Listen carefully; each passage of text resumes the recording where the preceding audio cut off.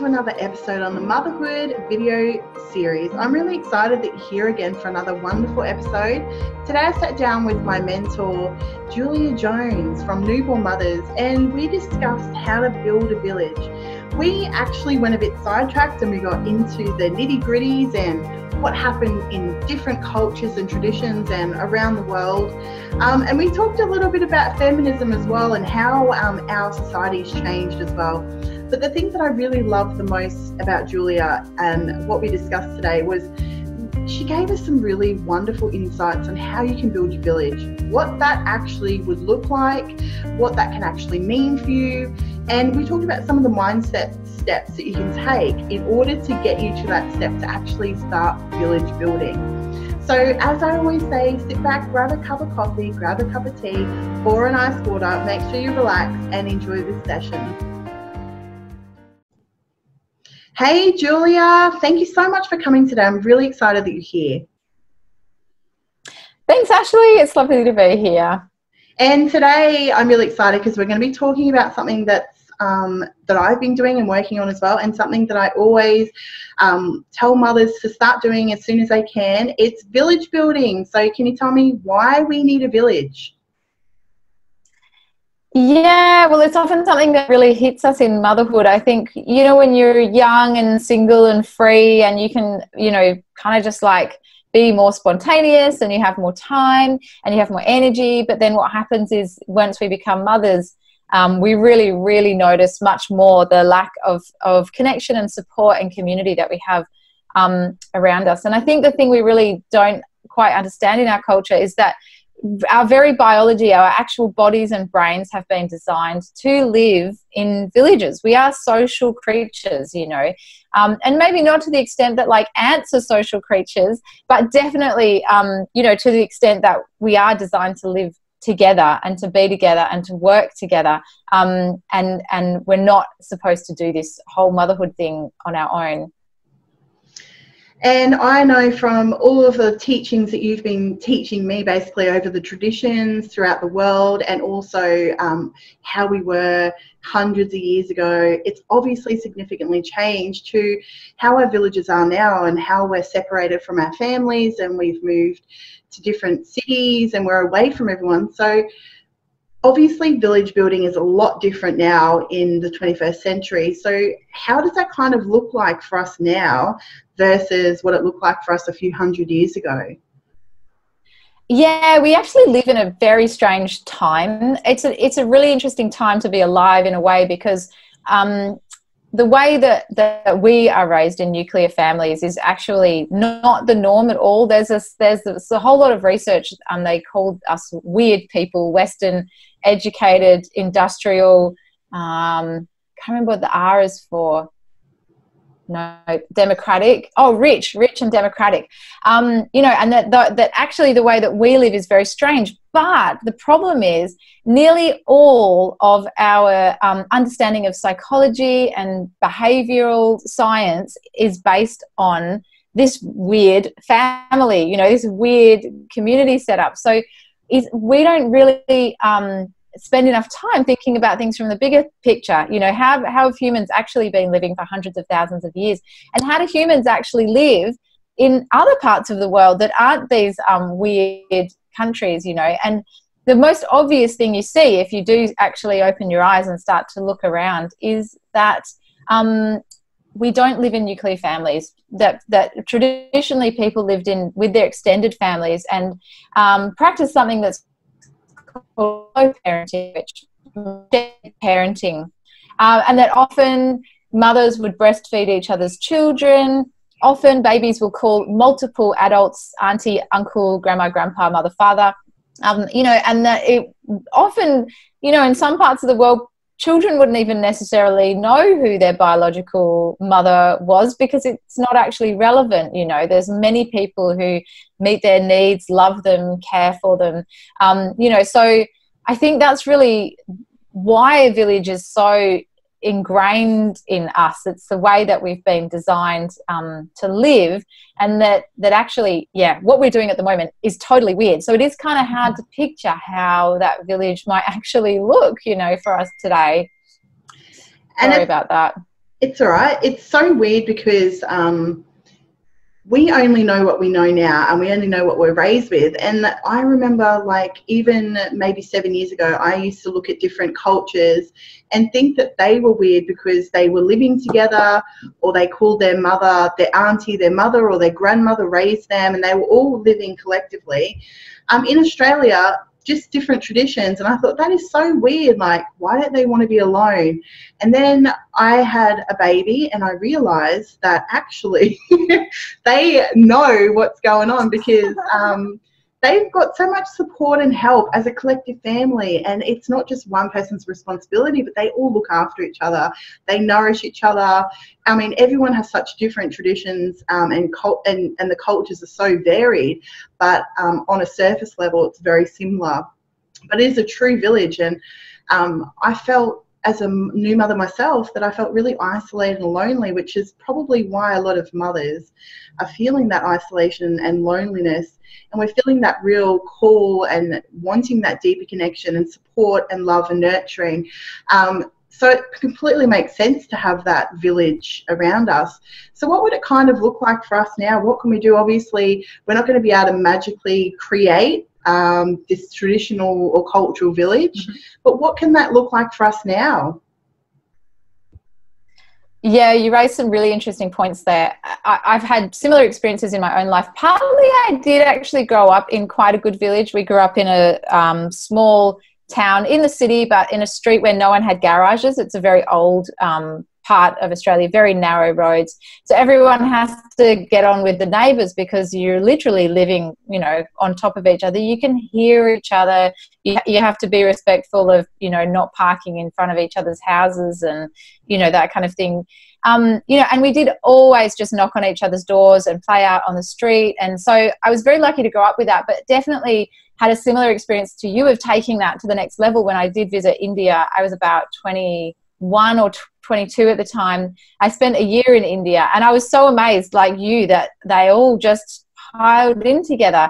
And people would will sleep anywhere in India. They literally have charpoys, which are like these day beds that they just have out the front of cafes, restaurants, houses, you know, um, in public spaces. And and because they don't have a lot of privacy, partly because it's a very populated country, but also partly because they live very in a very communal way they just sleep anywhere. And that was kind of surprising to me. Like for a Western person, I thought that was really weird that you would just go to sleep, you know, with everyone looking at you. I actually experienced the same thing in Japan. They sleep a lot on the trains in Japan mm-hmm. too. I went there when I was 15 um, on, a, on a student exchange, you know.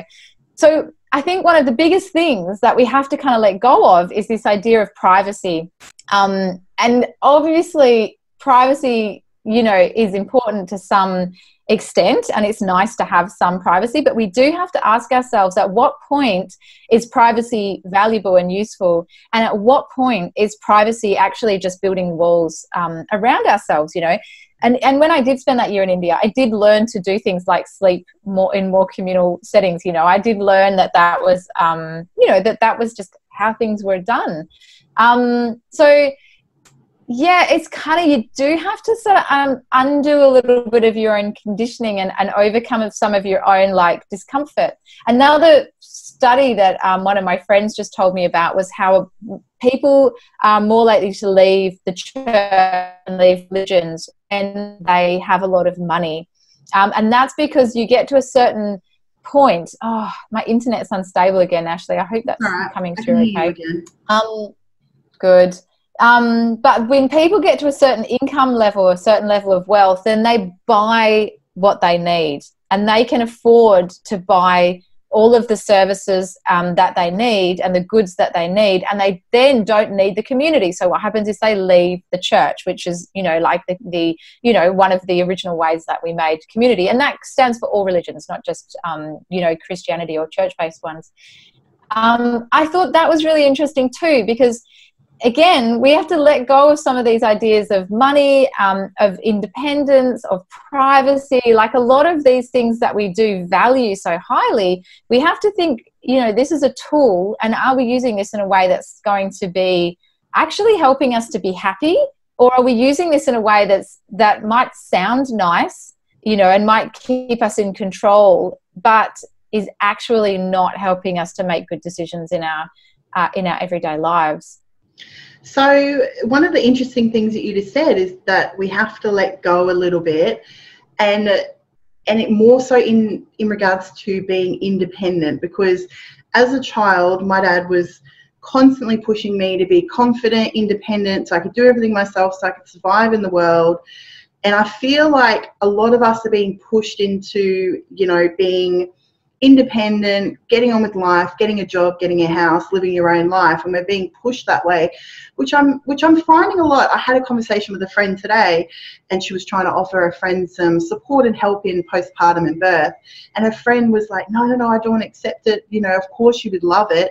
And whenever her friend does anything for her, she completely uh, adores it and loves it, but she won't accept the help. And I remember as a new mum myself that there was a little bit of help offered to me sometimes, but I wasn't allowing myself to be vulnerable to accept the help um, because I would rather go through the hardship of doing it myself on my own than accepting the help and being seen as weak. Um, and I think that that's kind of like a teaching that maybe it's a generational thing or maybe it was just my own upbringing. But I know a lot of women will not accept help. So I'm hoping that you have some ideas and tips because I know that a lot of um, people watching this definitely would be feeling the same way. And I, I really want to help mothers get over this, um, you know, feeling of not accepting the help and, and be more vulnerable and ask for help and accept it. That's the first step to creating this beautiful village that we need as mothers.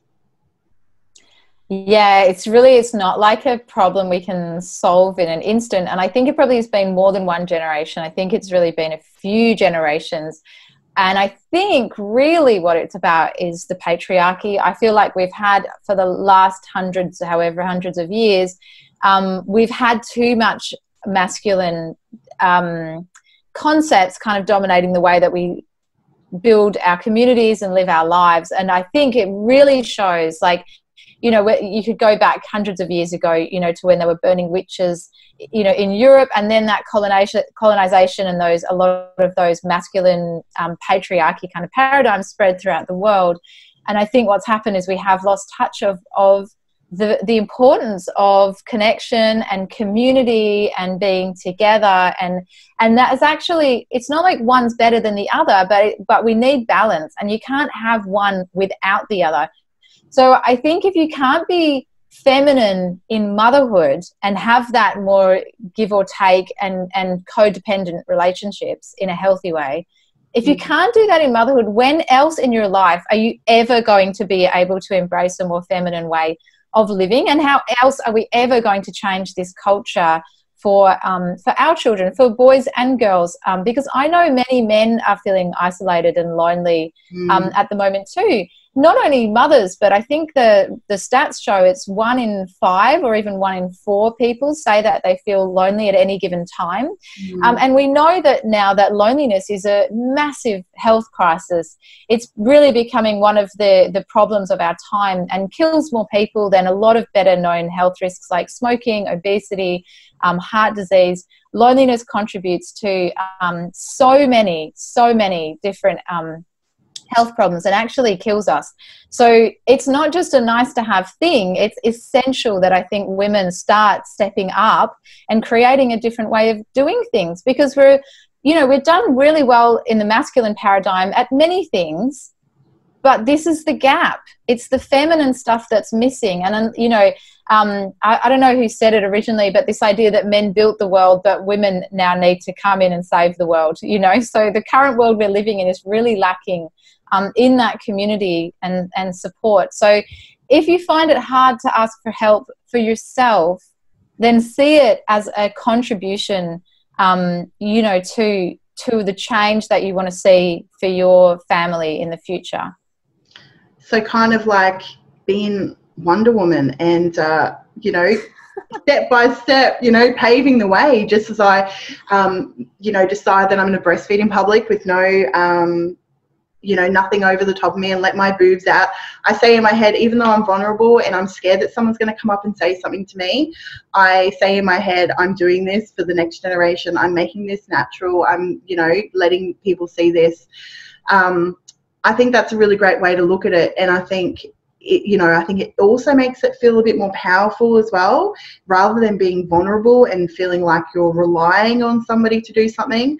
I also feel like making the first step, as in, you know, when you see another mother who's pregnant or, you know, struggling, that, um, you know, we offer the help as well because by doing that, people are naturally going to reciprocate um, and follow lead. You know, you know, basically live your life so that people can follow, and hopefully enough people click on, and we, you know, lead by example, basically, isn't it? Which is a little bit hard sometimes when nobody else is doing this, the thing that you want them to do. But I guess looking back at the last couple of years, I've created a wonderful community of loving and supportive women um, and I had friends saying to me, that'll never happen. You'll never have wonderful, supportive women around you. Um, and look what I've created. I've created a wonderful circle of um, support of women. So I think that's a great um, first couple of steps. So if we put ourselves out there and start asking for help or accepting help, can you explain a little bit about what the village actually, actually looks like today and um, you know how that would kind of work? and what sort of ways we can, you know, look at starting to build that.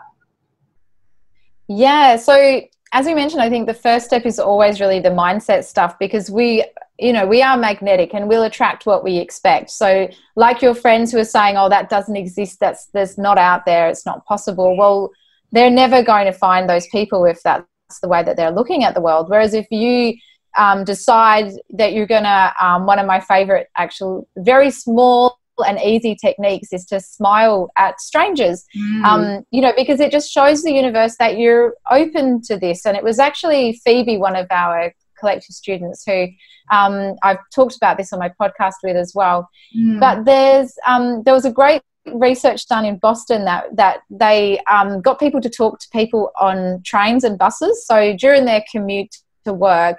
This guy who studies loneliness, I can't remember his name now, but it's a Boston study. You'll be able to find it if you want to Google it. Mm-hmm. Um, but he he realized that we are sitting on the train or the bus for 45 minutes, perhaps every single day, maybe even longer, and he said we're treating the other people like they're he in his words lampshades.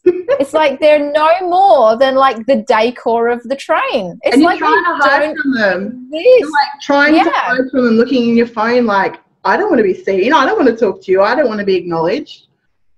Exactly. And and what is it you know what is it that drives this behavior? It's such a crazy thing to do to, to dehumanize other people so frequently you know every day in our lives.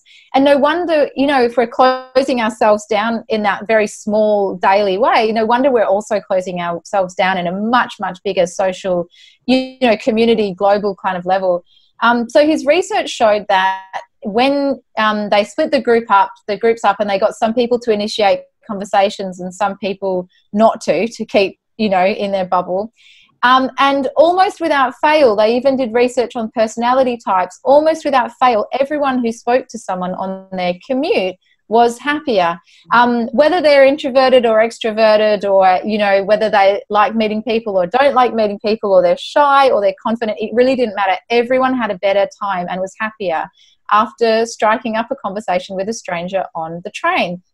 You know, so these are the kinds of just totally simple things that that we can do that um, really open up our minds to the possibility that we're not the only one who feels lonely mm. um, and that we're not the only one who feels unsupported. Um, you know but i think it's that fear that probably stops us from reaching out. We think oh they're just going to think that i'm a loser you know but actually they're probably really happy to have some human contact too because we are all social creatures I find that, um, you know, even without that study, I 100% know that whenever I talk to a stranger or have a conversation with somebody, I feel so much happier because uh, I, don't, it, I always do. It doesn't matter if, because no one talks to you when you go to the shops or go out, but old people always stop for a chat and they would talk about anything. And then afterwards, I have a bit of a spring in my step and, you know, everything feels good and the world's not doom and gloom anymore.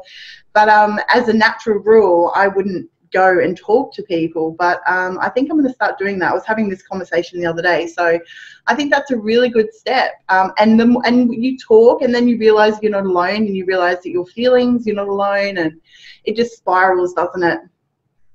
Yeah, and it didn't matter what the conversation was about. That was the other mm-hmm. great thing about the study. It didn't matter whether you talk about the weather or you have a big D and M or you have a debate about politics. It actually didn't matter as long as the person you talked to wasn't, you know, actually a, a, a safety threat. You know, I think there were occasions when the person they talked to wasn't a safe person to talk to, but other than that, they always made you happier. And it just goes to show that the decisions we make in our daily lives and what we think will make us happy, uh, it's not always right. We don't always make the right choices. And, you know, here's an example from my personal life. When I had my first baby, I actually didn't have my driver's license. Um, and so I would catch the train and the bus everywhere.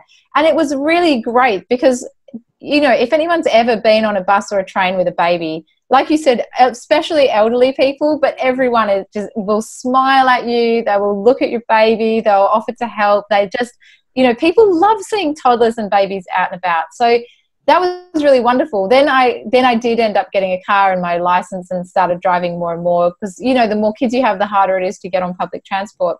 Um, and now you know, when I go to the shops and back, or when I go to mum's group and back, I, I, don't interact with as many people. So a lot of the things that, you know, we think will make us happy, you know, they don't, they don't, we just have to use them discerningly. We can't just like say that more money is better, more cars are better, you know, more freedom is better, more control, more privacy. All of these things can be used in ways that are going to make us happy and build our villages and connect us, or um, or not. They can be used in the opposite ways as well.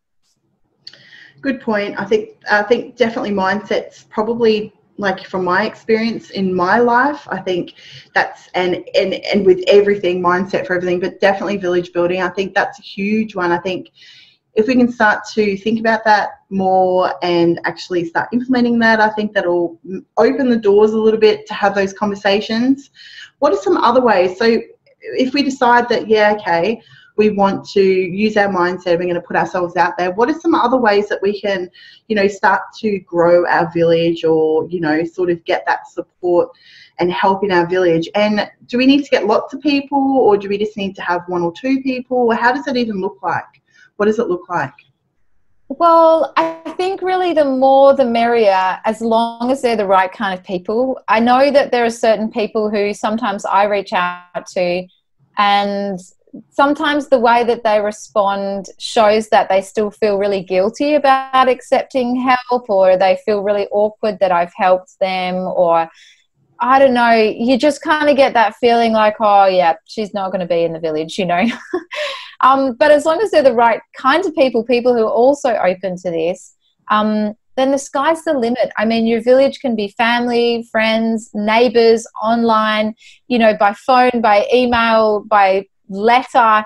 It, your village can include people who are like the guy who makes your coffee or, you know, the anyone, like really anyone can be part of your village. And I think it's important to know that your village is really a multifaceted thing because a lot of people say, oh, but I don't have a village. And what they usually mean is they're newly arrived to an area and they don't have their old family and friends there. But, you know, you can go and knock on a neighbor's door and, and take a cake over. You can join a crocheting class.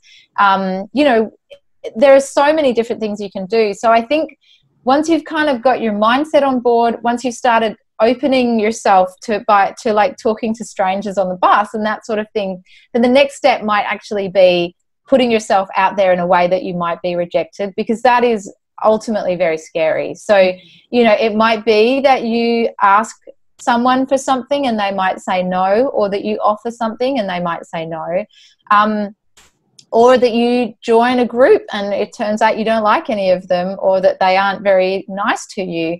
Um, so that kind of gets a little bit scarier and a bit harder. But if you can kind of build up to that slowly, I think, um, and and remember that not everyone is going to be open to this, and that's not about you, that's about them. Um, then I, I, think you can have great success um, in village building just by continuing to to take those small steps. I think that's true. I think uh, we need to get that resilience as well. And it's kind of a bit hard sometimes when we've got all those hormones flushing through our body and we're feeling vulnerable and we have expectations as well of um, of what sort of support that we're after as well. So I think um, keeping it simple and just starting off small and um, realizing that we're in a vulnerable state as well. Um, and it's not the end of the world if someone does um, you know, reject you or however you feel it's going to be. I know um, often times in my life, if I didn't feel comfortable in a mother's group or something like that, I would just kind of come home and then I wouldn't try it for a very long time um, because I was scared off for a very long time. So I think realizing that it's not the end of the world and that there's thousands and hundreds of different groups out there and it just may take a little time to find your group um, and the right people for you and that's okay and there's nothing wrong with you as a person it's just finding the right thing for you at the right time that makes you happy brings you peace and joy and that sort of thing. And it's a lifelong journey right? It's something that we have to continue to build on basically for the rest of our lives. Um, but I really love the idea of having a neighbour. And I was I was thinking the other day, I'm going to start. I read an article on the internet. It was in regards to village building or something. It was why you should go next door and ask for a cup of sugar or something like that. And I was like, I would love to like go next door and ask for a cup of sugar. If I run out of something at home, I would love to dip next door and say, Hey, have you got this? And I'll borrow that, and then I'll borrow. You know, I think that that's really awesome. So I think that I'm going to start um, initiating that in my life as well. And I think, yes, um, you know, I think we can all just take a little step and you know start building our village. Yeah, exactly. You know, and that's such a simple thing to do is to go and borrow a cup of sugar. Mm-hmm. One of my dear friends, who is also part of my village, is uh, always talks about how one of the most important things is to have actually a reason to get together because if you just you know you've all got those friends who are like we're long overdue to catch up for coffee and you just never get around to it months and months go past. But if you have a reason like you're going to get sugar from a neighbor then that that puts it to the top of your list so that you actually do it.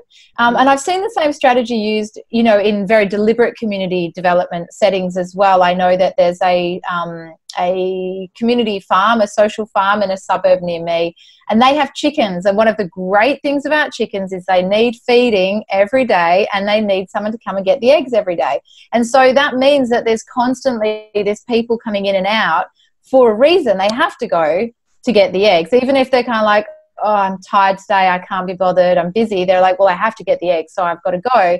But then that means they are also going to bump into the other farmers and friends and, and neighbours and communities, you know, on the way. So as much as you can, build those things together so that your social life and your chores aren't separate, siloed things, but that all becomes part of your mm. everyday life. Well, this is really exciting, and I am so thankful that you've come on to talk to us about village building. You were talking about an awesome download freebie before. Um, could you tell us about that? Yes, so I've created a free guide because this is such a hot topic. I actually studied community development way back at university so many years ago, so it's something I've always been really passionate about. Um, and and in my more recent work with motherhood, I'm just hearing it more and more. People are saying, you know, sometimes they're actually lonely, uh, but also sometimes they just need the practical support. They're like, I just want to not have to cook dinner every night, or I want to have friends I can ask, um, you know, to have my kids for a little bit while I do whatever I need to do. Um, you know, so there's really emotional and practical benefits to having a village and i think we're all feeling it at the moment i would be surprised if there's you know many people in australia right now who who aren't feeling like they've lost something there. Um, you know, so I talk to, we end up having this conversation. I wish I had uh, just yesterday. I had the conversation. If only I had a friend that could look after my kids for a couple of hours. You know, it, it's the repeat conversation that I seem to keep hearing, and it must be, like you said, biological. It's in us. It's something that we desire. We just don't know how to go about it. So I think some of these tips are going to be really helpful for mothers to start be able to create their village um, and remember that Wonder Woman song and sing that when they're doing it and putting themselves out there. You're going to have to sing the song now, Ashley. I know. Well, it was supposed to be Beyonce, I Run the World it's I run the world, who runs the world, girls? But I sing, I'm Wonder Woman, yeah, I'm Wonder Woman, yeah. And I didn't know that that was actually the lyrics until recently. Oh, I love it. But but here's the thing, like we really need to redefine Wonder Woman, don't we? Because Wonder Woman isn't someone who does it on her own. Like right. Wonder Woman in the movie, she has her mother and her all of the women the around her, all of mm. yeah, the aunts. It's not actually her yeah. mother, is it? I think I'm remembering that. It was her mother and her aunt, but they were all like a sisterhood of women that were surrounded yeah. after each other. Um, yeah. Yeah. Yeah. So that's how women She's got Superman, yeah. Batman, everyone. So she's connected. Exactly. You know, so. Yeah, we need to stick a few more chicks into that tribe too. yeah. because this is our strength as women. You know, our strength as women is being together and, and harnessing the power yeah. of when everyone's together. So, yeah, I just keep seeing it more and more. So, I decided I finally got to do it. It's been on my list for years and years to mm-hmm. write this um, free guide, which is 10 ways to build your 21st century um, village. So it does include a couple of the things we've talked about today and a whole lot more. Mm. But it's an ebook that people can download if they're feeling like they've got this this in their life, this lot, this lack. You know, there's something missing. Um, then I think they will really uh, love that guide as a starting point well, I downloaded it myself and had a sneaky peek, and I was just on my phone. I was like, "This is amazing!" And I was only on the first page, and I was like, "Yep, I'm going to remember that one." And oh yes, I did that one. And so I highly recommend it for anyone who's you know wanting to build that village. Um, it's a really great resource there. So thank you so much, Julia, for coming on today. It's been awesome to have you on. My pleasure, Ashley. It's one of my favorite topics to talk about. thank you. Bye.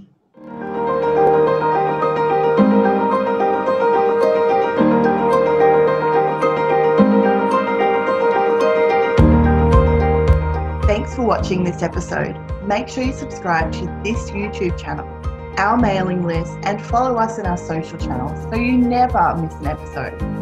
All our details are listed in the description box in YouTube. I look forward to bringing you another great episode next week.